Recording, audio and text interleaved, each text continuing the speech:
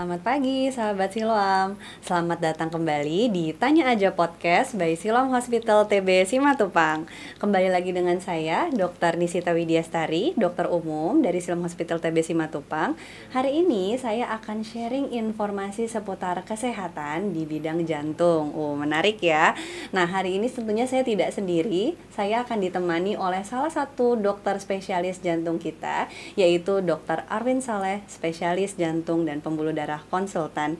Selamat pagi, Dokter Arwin. Selamat pagi, selamat pagi. Senang bisa bersama-sama pagi ini. Oke, mungkin boleh kenalan dulu nih dok ke sahabat Siloam semuanya. Oh iya, oke. Perkenalkan nama saya Arwin Saleh Mangkuanom. Saya adalah uh, spesialis jantung dan pembuluh darah dan saya adalah konsultan intervensi di bidang kardiologi. Terima kasih. Selamat pagi dokter, terima pagi. kasih banyak untuk waktunya pagi. ya.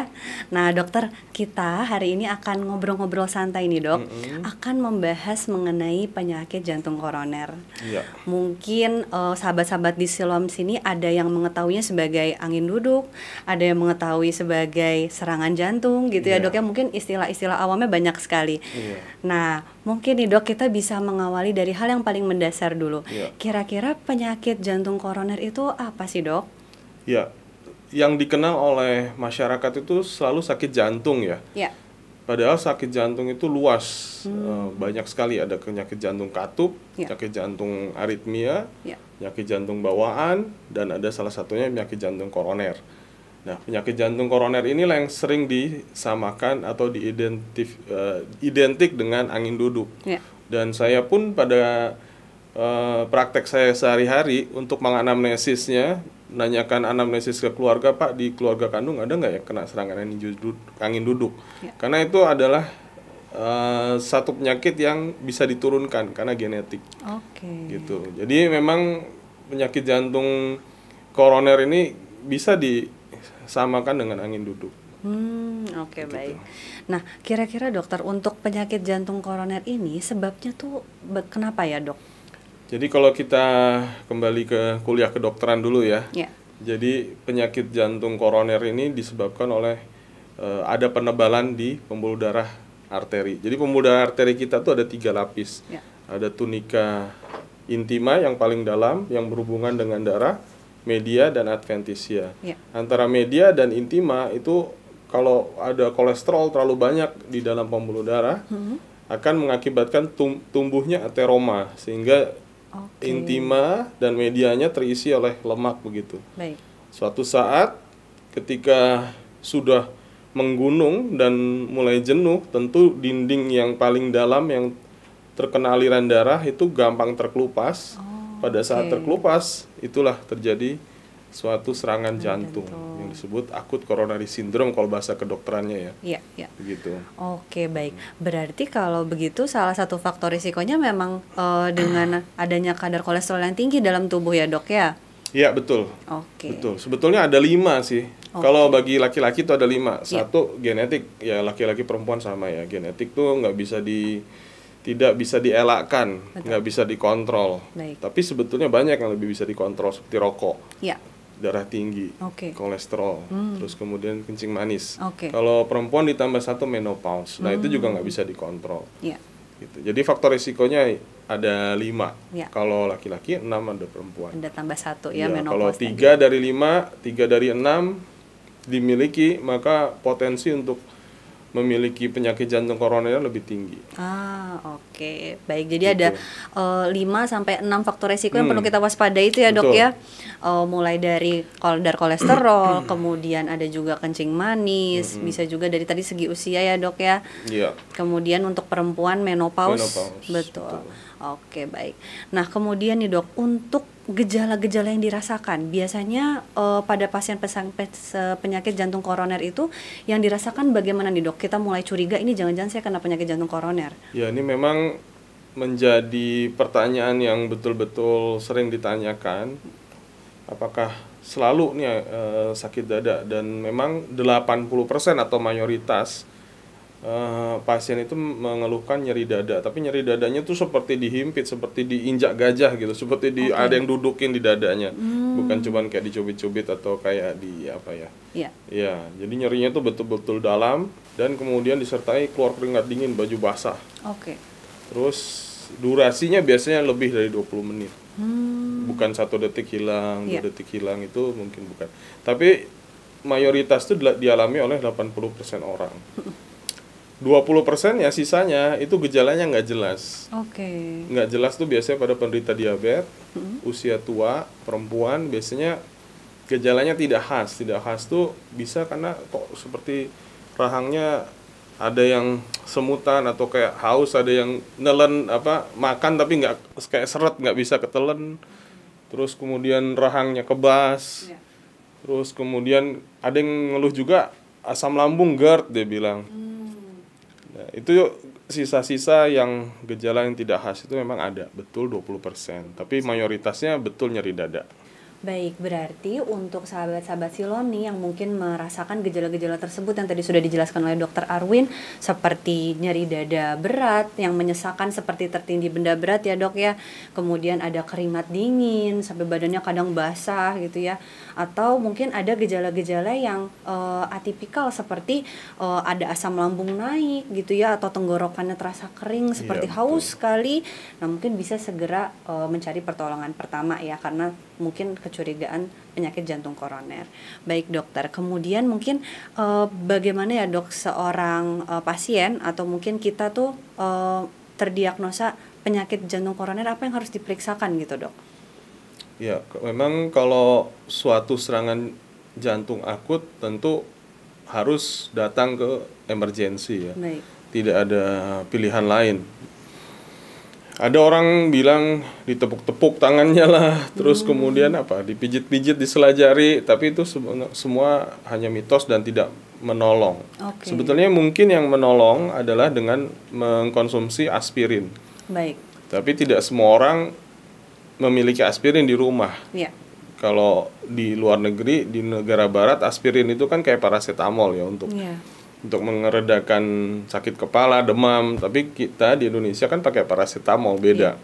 Jadi kita nggak semua orang sedia aspirin di rumah. Betul. Ya, jadi mau nggak mau kalau di negara kita ada keluhan seperti itu mesti datang ke emergensi. Baik. Dan keluhan yang saya sebutkan tadi akan memberat dengan aktivitas. Oke. Maksudnya tadi kan ada gejala yang atipikal kadang-kadang orang bingung loh. Jadi kalau saya sakit lambung harus ke belum tentu ya. Belum tentu, betul. Jadi ketika sakit yang mau sep- yang atipikal atipikal itu tidak khas Ya. seperti tenggorokannya kering, nggak bisa nelen, rahangnya kram dan itu makin jelas ketika di aktivitas misalkan makin dia naik tangga atau makin jalan jauh keluhannya makin berat. Ya. Ketika dia istirahat dia makin reda, bukan sebaliknya Ya. Kadang-kadang oh saya habis kerja berat nih dok tadi habis mindah-mindahin barang. Terus udah duduk beberapa menit agak apa eh, terasa-terasa nggak enak gitu ya. Itu bisa iya bisa enggak tapi kemungkinan besar itu pada saat aktivitas justru pada saat jantungnya bergerak dipacu nah keluhannya semakin jelas. Ah, oke, baik. Jadi untuk mendiagnosa secara pastinya tetap harus ke emergency, emergency dengan pertolongan dokter ya, Dok ya. Iya kita rekaman jantung atau EKG yang diambil segera itu akan mendeteksi Oke, baik. Nah, mungkin nih dok, ketika seseorang sudah kita curigai terkena penyakit jantung koroner, biasanya pertolongan pertama apa yang akan diberikan? Ya, tentu di emergensi akan dipastikan dulu betul tidak ini Ya. suatu serangan jantung dengan pemeriksaan EKG. Kalau dari pemeriksaan EKG sudah jelas, jadi sebetulnya serangan jantung itu eh, gimana ya? Membaginya tuh sebagai ada ya anggaplah ada tiga tiga grade keparahan lah gitu ya. Iya. Yang paling berat itu yang kita sebut STEMI. Hmm, ST elevasi miokard infark. Jadi ketika dari EKG-nya ada tampak betul-betul suatu tanda-tanda sumbatan oklusi di suatu salah satu arteri koronernya. iya. Nah, kalau itu terjadi maka harus segera dilakukan kateterisasi jantung dibuka penyempitannya. Itu yang paling berat. Iya. Yang kemudian yang nomor dua itu ada non ST elevasi. Jadi di EKG-nya nggak ada peningkatan gelombang ST segmen, Iya. tapi jelas dari enzim jantungnya meningkat, troponinnya tinggi segala macam. Itu biasanya kita rawat dulu, kita tenangkan dulu, disuntik di pusat dengan obat pengencer darah, baru nanti eh, hari kedua kita rencanakan untuk kateterisasi jantung juga. Oke. Nah, yang paling ringan adalah unstable angina pectoris di mana EKG-nya normal, enzim jantungnya juga normal. Jadi pada yang kelompok itu mungkin kita lakukan CT scan Hmm, untuk baik. memastikan betul jantung atau bukan gitu. Iya. Kalau betul ada penyempitan baru nanti kita lakukan kateterisasi Kateterisasi. juga ujung-ujungnya gitu. Iya, iya. Oke, jadi untuk penolongan pertamanya itu biasanya kita lakukan rekam jantung gitu ya Iya. dok ya. Kemudian nanti kalau misalkan memang membutuhkan evaluasi lebih lanjut seperti pengecekan enzim jantung, Iya. itu diambilnya lewat sampel darah ya dok ya. Betul. Oke, nanti mungkin apakah kita putuskan kira-kira membutuhkan kateterisasi jantung atau Iya, tidak. Untuk unstable angina mungkin tadi kita bisa lakukan CT scan terlebih dahulu karena Iya. biasanya temuan hasil rekam jantung ataupun enzim jantungnya itu normal gitu ya dok biasanya. Betul, betul. Oke, baik. Nah, kemudian dok, biasanya eh, indikasi yang mengharuskan pasien-pasien itu, oke, ini hanya harus kita lakukan kateterisasi. Hmm. Eh, itu apa dok? Dan kira-kira eh, sakit nggak sih atau operasinya itu apakah operasi yang masif gitu ya? Harus Iya. eh, s- apa namanya dibius dalam atau bagaimana tuh dok? Ya, dulu eh, s- salah satu dokter di Indonesia terkena serangan jantung tahun awal-awal 90 lah. Oke. Awal 90. Pada saat itu langsung dibawa ke Singapura pada Oke. saat itu.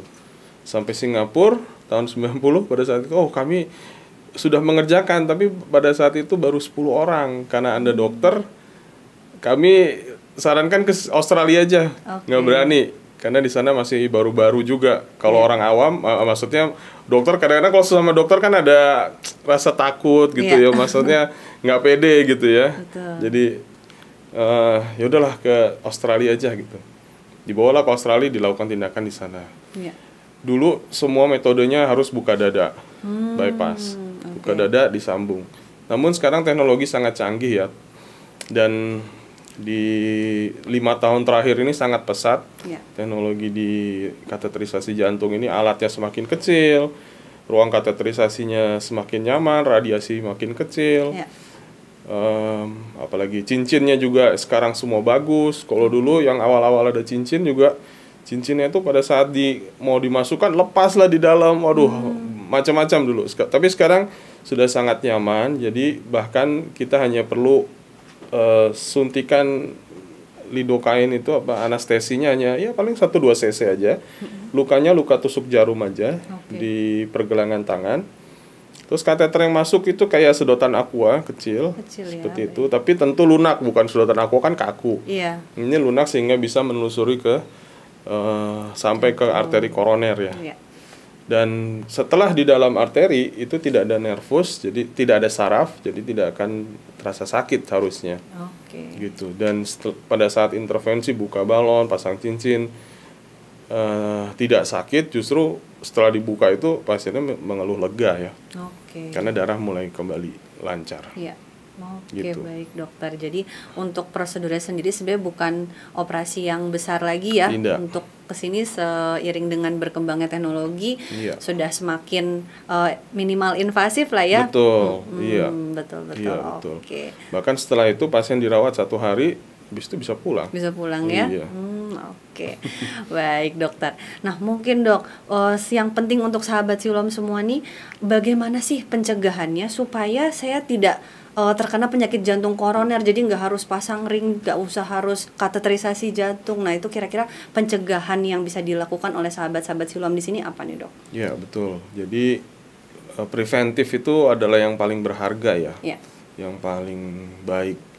Jadi ternyata di negara berkembang seperti Asia Tenggara ini eh, angka kejadian serangan jantungnya mulai makin muda makin muda nih. oke. Iya karena katanya eh, penelitian mengatakan karena konsumsi karbohidrat kita yang berdasar dari nasi itu itu eh, kadar gulanya lebih tinggi. Oke, Dan juga ada yang bilang genetik orang Asia yang mudah terkena diabetes, salah satu faktor itu ya. ya, Jadi ketika kita memiliki faktor risiko 3 dari 5 yang tadi dan Anda sudah termasuk usia yang di atas 40, maka setahun sekali setiap ulang tahun ingatnya check up.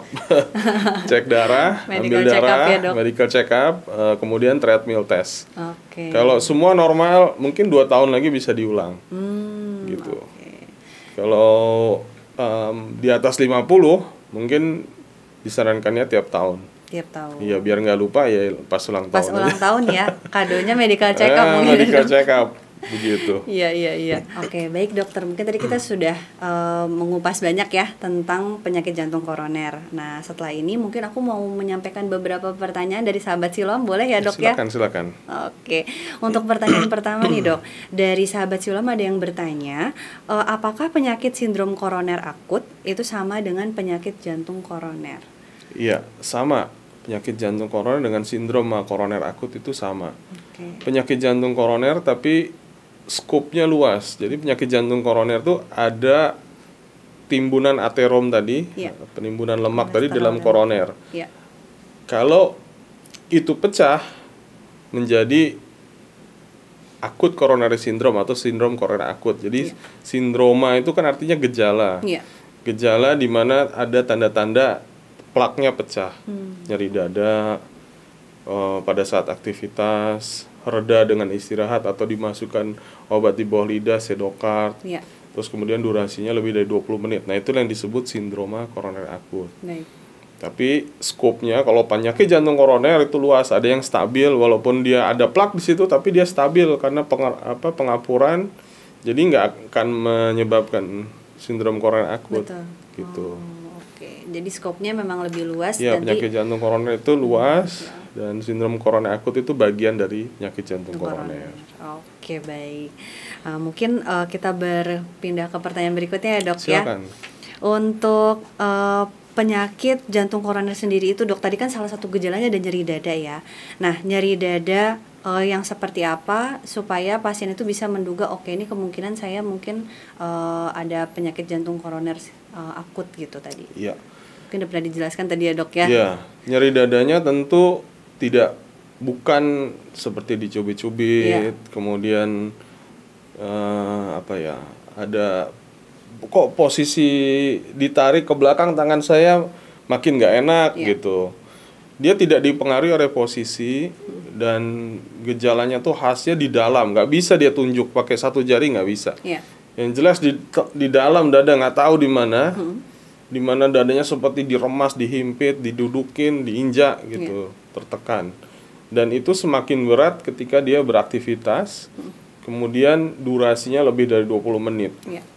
Sampai bajunya bisa diperas karena saking keringat dinginnya Saking banyak. Dan betul-betul itu kalau kita lihat di emergency kita sebagai dokter dari jauh pun kita udah bisa lihat nih jangan-jangan ini serangan jantung nih gitu. Saking khasnya eh, apa ben- klinis dari pasien itu sendiri.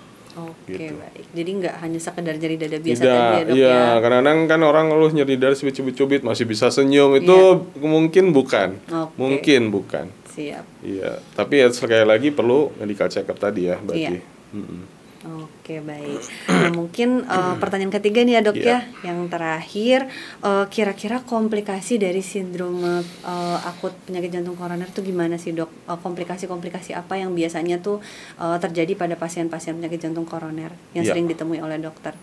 Ya, jadi ini jantung, di luar jantung itu ada pembuluh darah koroner. Iya. Ada pembuluh darah koroner kiri depan, kiri samping dan kanan. Iya.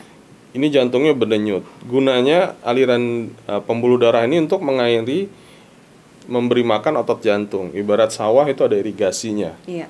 Ketika irigasinya dihambat, tentu padinya rusak. Iya. Ya, kalau padi sih mungkin masih perlu ber- berbulan-bulan baru rusak, tapi kalau otot jantung berbeda. Iya. Dia ada golden period. Ketika arteri koroner oklusi bagian kiri depan misalkan, itu kita punya golden period 12 jam. Hmm, Ketika 12 jam lebih, maka otot jantung yang diperdarahi oleh ot- eh, arteri koroner ini akan mati. Iya. Pada saat itu sudah sia-sia. Artinya ketika dibuka pun pembuluh darahnya ada bagian ot- sebagian otot eh, jantungnya sudah mati sehingga pompanya menjadi turun. Oke. Artinya nantinya komplikasinya menjadi yang disebut gagal jantung atau heart failure. Oke. Nanti setelah serangan jantung itu setelah pasiennya stabil, pulang ke rumah ada keterbatasan aktivitas. Oke. Misalkan yang tadinya lari bisa dua tangga sekarang satu anak tangga aja dah berhenti dulu sebentar, Ngos-ngosan, habis itu dilanjutkan lagi karena otot jantungnya sudah melemah. Melemah. Yang paling dominan adalah itu heart failure. Heart failure ya. Iya. Oke, Akibat dari akut coronary syndrome. Oke, baik. Jadi untuk uh, jangan sampai nih kita sampai mengarah ke komplikasi Iya. adalah dengan mencari pertolongan pertama dengan segera ya, Dok. Betul. Golden periodnya adalah dalam waktu 12 jam. Iya, betul. Baik. Dan yang saya perlu tekankan paling banyak eh, dialami oleh pas atau orang yang masih produktif. Mas, artinya produktif itu masih usia kerja. Iya, Di mana kalau itu terjadi pada usia kerja kan mengganggu betul. pada saat dia untuk mencari Mm-mm. nafkah. Iya. Gitu. Oke baik, terima kasih banyak loh dokter Sama-sama. sudah menjawab beberapa pertanyaan dari sahabat Siloam. Terima Mungkin kasih. yang terakhir nih dok, Ya. supaya lebih fun, kita mau bermain games, Oh. judulnya mitos atau fakta. Oke. Jadi nanti dokter Arwin akan aku coba eh, sebutkan beberapa pernyataan. Iya. Nanti dokter Arwin mungkin bisa menentukan ini fakta ataukah mitos. Oke. Kemudian mungkin bisa dijelaskan ke sahabat-sahabat Siloam ya dok ya. Oke. Oke, untuk pernyataan pertama dok, Ya. Sindrom koroner akut sama dengan angin duduk itu mitos atau fakta? Hmm, fakta sebetulnya. Ya. Tapi orang eh, di Indonesia mengatakan serang apa meninggal mendadak itu selalu angin duduk. Hmm. Entah penyebabnya apa. Iya, Biasanya oh meninggal mendadak pasti angin duduk ya. Kadang-kadang sebagian besar memang betul lah serangan jantung, Iya. tapi ada kemungkinan juga dia stroke. iya, Ada kemungkinan dia juga eh, penyakit jantung, gangguan aritmia. iya, Eh, di- biasanya sedang tidur terus nggak bangun lagi dulu ada di eh, kelompok suku di Thailand Mm-mm.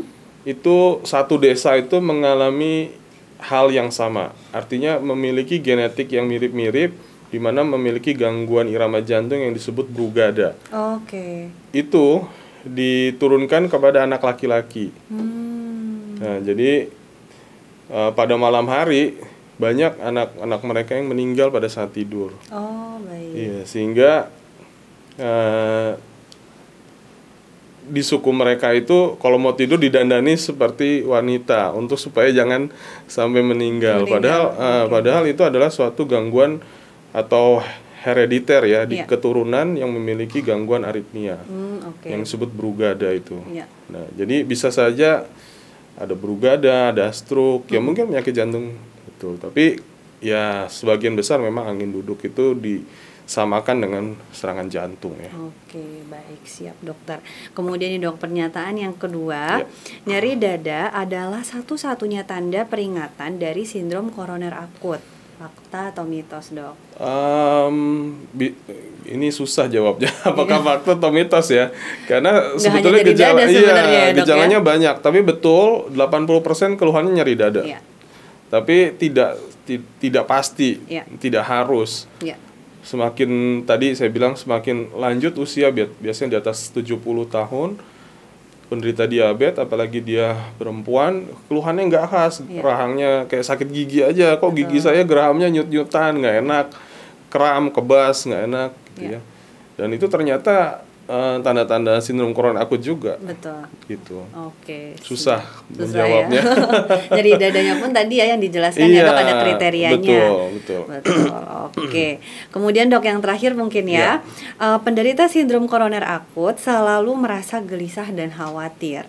Ini mitos atau fakta dok? gelisah dan khawatir ya Mm-mm. mitos atau fakta ya Eh, ya dia akan mengeluh nyeri dada ya kalau dia akan nyeri dada Pasti gelisah ya pasti dok ya gelisah biasanya ya, Heeh. tapi kalau gelisahnya nggak bisa tidur itu beda beda Hmm.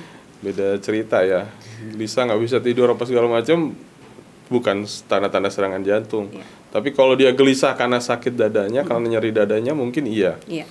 Jadi, Baik, jadi, mitos atau fakta atau nggak bisa jawab juga perlu digali ya dok ya Iya. gelisah dan khawatir ini lebih dicetuskan karena Iya. apa nyeri dada Iya. kah atau apa ya dok ya? Oke baik, wah terima kasih banyak kalau Iya, Dokter. Arwin sudah eh, mengupas tuntas nih tentang penyakit jantung koroner Iya. bersama saya. Mungkin eh, untuk sahabat-sahabat Siloam tadi eh, bisa ya eh, mendapatkan eh, pelajaran hari ini dari Dokter Arwin. Mungkin nih dokter kalau ada sahabat-sahabat Siloam yang mau ngobrol lebih lanjut, kira-kira bisa bertemu untuk konsultasi sama dokter kapan dan di mana dok? Ya, saya ada di Rumah Sakit Siloam ini em, hari Kamis dan hari Sabtu. Hari Kamisnya sore sekitar jam 5 gitu. Saya udah mulai praktek. Terus kemudian hari Sabtu saya mulai dari jam 9 sampai selesai. Oke, Gitu. mungkin bisa dicatat ya, sahabat-sahabat Siloam untuk jam prakteknya Dokter Arwin. Terima kasih banyak ya dokter Sama-sama. untuk waktunya. Mungkin Sama-sama. nanti kita akan bertemu lagi di episode berikutnya untuk membahas penyakit-penyakit jantung yang lain nih. Oke. Iya. Dengan senang hati. Siap. Terima kasih sahabat-sahabat Silom sudah hadir mendengarkan podcast episode kali ini. Sampai bertemu di episode Tanya Aja Podcast by Silam Hospital TB Simatupang berikutnya. Sampai jumpa. Salam sehat. Salam sehat.